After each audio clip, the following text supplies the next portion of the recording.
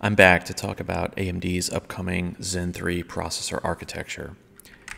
As a reminder, here's AMD's latest public processor roadmap. Zen 2 has been shipping for a few months, Zen 3 is complete, and if AMD stays on a yearly cadence, that means Zen 3 should be released mid 2020. It takes a year or so to test a processor. Here's a more detailed roadmap focusing on EPYC, the server version of Zen. This shows Milan, based on the Zen 3 core in Q3 2020, with similar overall specs to the previous generation 64 cores, 2 threads per core, same TDP, same socket, etc.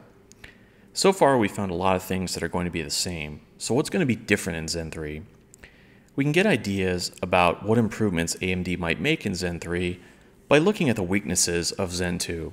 I'm not even a chip designer, so if I can see a problem, then AMD's architects are surely aware of the same thing, and they have probably been thinking about how to improve it already. The number one thing I never liked about Zen is the core complex, or CCX. Many processors, especially those from Intel, have a unified L3 cache, meaning there's one big cache shared by all the cores on the die. Unified cache has several advantages. If an app doesn't use all the cores, it can still use the entire cache. As the number of cores increases, it's more likely that you'll be running apps that don't use all of them all the time. A unified cache makes programming and OS scheduling easier because you can assume that all the cores are one big pool. Anytime you design a weird chip where the cores aren't uniform, then Linux and Windows have to modify their schedulers to optimize it, and that OS update takes time to be developed and rolled out. So Zen does not have a unified cache. Instead, they have CCXs, where each CCX has four cores, some L3 cache, and presumably a crossbar in the middle connecting all the parts. Here's what a Zen 1 CCX looks like, and here's a Zen 2 CCX, which is basically the same, but it got wider because the L3 in the middle is twice as large. Now here's the whole Zen 1 die. And here's the annotated version, where you can see the two CCXs are like islands in the chip that aren't directly connected to each other. Some of the unmarked blue stuff in the middle is the scalable data fabric that connects the CCXs, the memory controllers, the PCIe, etc. When AMD puts 8 cores on a chiplet, that's two separate CCXs, meaning two separate L3 caches. This causes some performance irregularities. If an app is running within one CCX, it will only have access to some of the cache, not all of it. And if an app is spread across multiple CCXs, then it causes cross CCX communication, which is much slower. Here's some measurements of core to core communication latency on Intel Coffee Lake Refresh, aka the 9900K, on the left, and Zen 2 Matisse, aka the Ryzen 3700X, on the right. For Intel, you can see the latency is relatively consistent at 45 to 50 nanoseconds.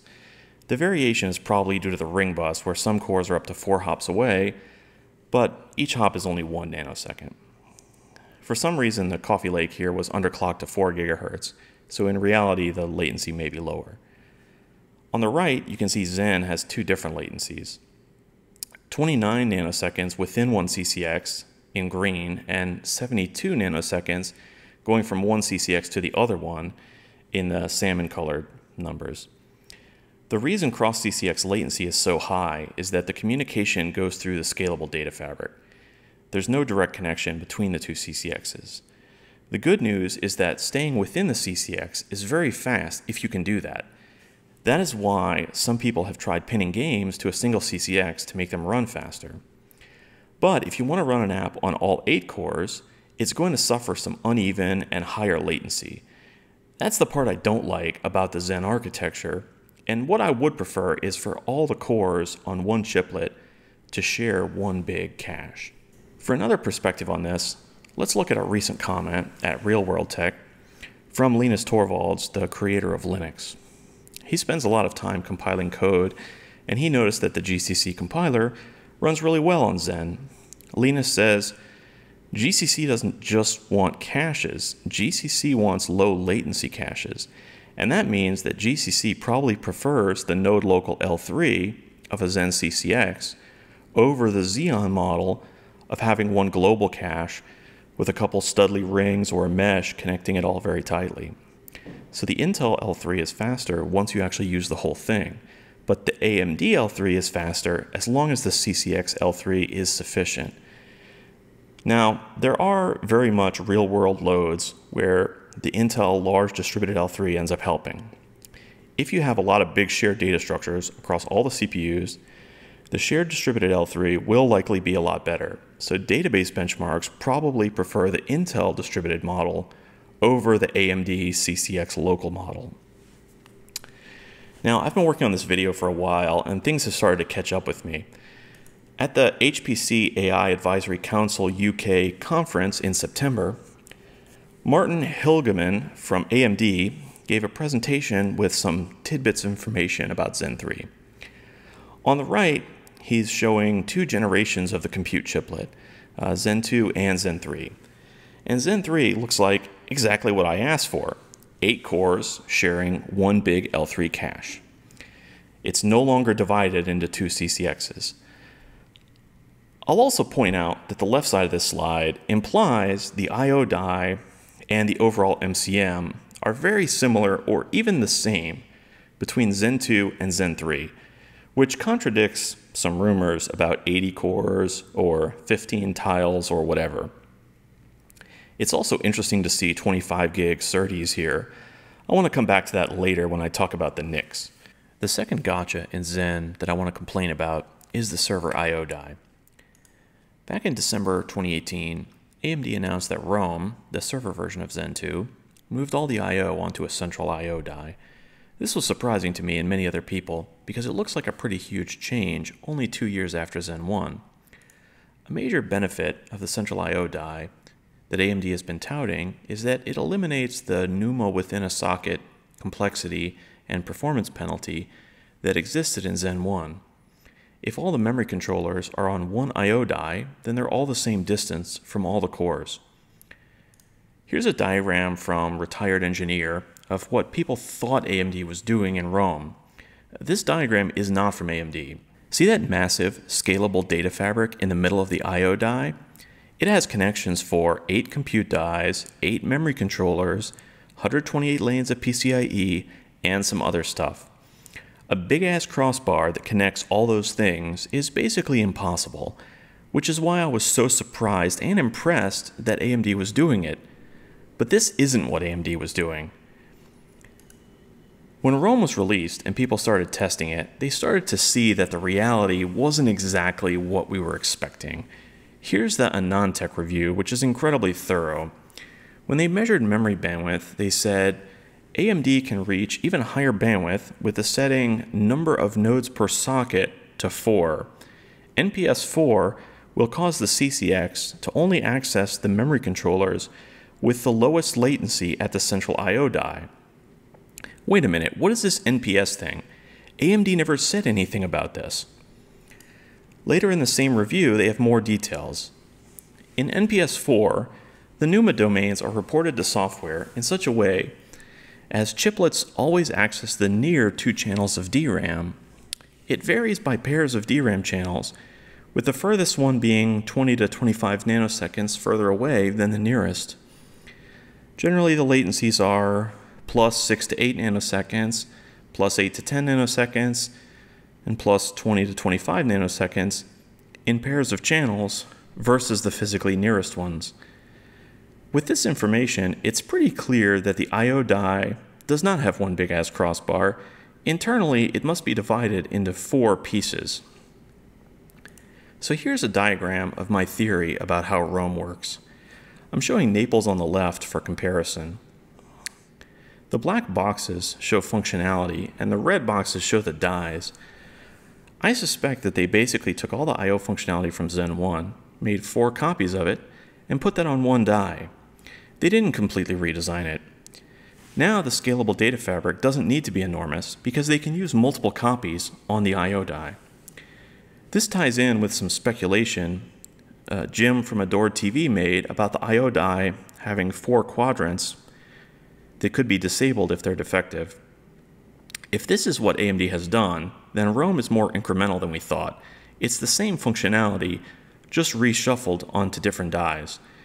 There's probably room for improvement here to optimize the server I.O. die to act more like one unit instead of four copies of the desktop I.O. By the way, while I'm criticizing AMD, I want to mention that Intel is in a similar situation with their Skylake server processor. It's made of tiles connected by a mesh, and you can see there's one memory controller on the left side of the chip and one on the right side, so naturally some cores are closer to one memory controller than the other.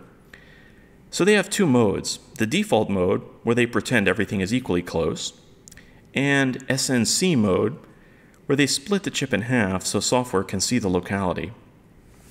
When you're talking about modern server processors with large dies and memory channels exiting on both sides of the chip, this is something that can't be completely avoided. I'm a networking person, so in the final section of this video, let's talk about the Zen feature that gets no respect, the NICs. That's right, Zen 1 has four 10 gig Ethernet NICs built into the die. And I bet they're also in Zen 2 because why take it out? To use these NICs, you have to give up some PCIe lanes, but if you were going to use those lanes for a NIC anyway, it doesn't matter. It looks like these NICs are disabled in Ryzen and EPYC, so you might think that maybe they don't work, but they are enabled in something called EPYC Embedded. It's called out on the website as a feature, because integrated NICs are definitely expected in embedded SoCs. Because the Big Daddy EPYC has four dies, that means there are 16 NICs just waiting to be enabled. So why aren't they? I wonder if it's because 10 gig just isn't a good use of money in today's data centers.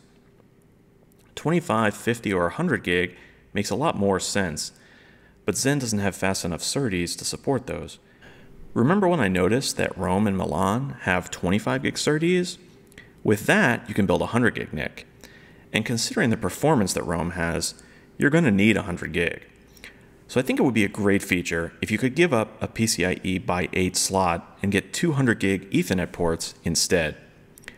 I looked on the web and the cheapest dual port 100 gig NIC I could find is almost $400.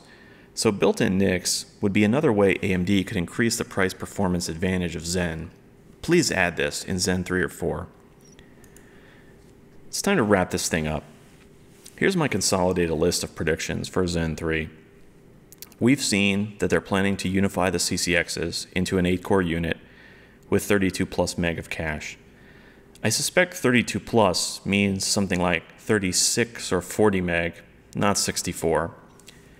There's a recent rumor of increased IPC in the core, which isn't surprising, but I don't expect anything huge like the doubling of floating point that we saw in Zen 2. On the desktop, people expect more frequency, even if it's very hard to squeeze that out of the 7 nanometer process. We saw that core count probably won't increase for servers, and I also don't see any reason to put more than 16 cores in the mainstream desktop Ryzen.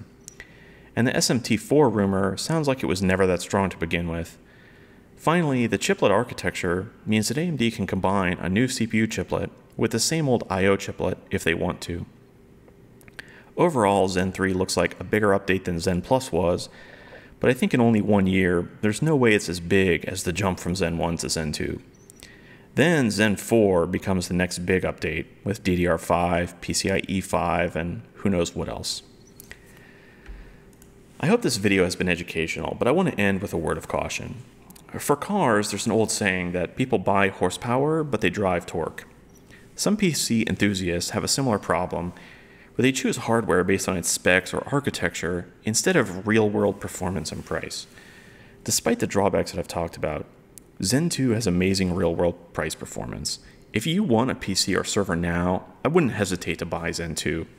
If you can wait until next year to buy something, wait until the reviews are out to make your decision. Don't decide now what you're going to buy next year because you don't have all the facts now. That's it for today. Please give me your feedback, even if it's how something can be improved. I've pretty much exhausted my backlog of thoughts about the PC market, so my next video will probably be on a different topic.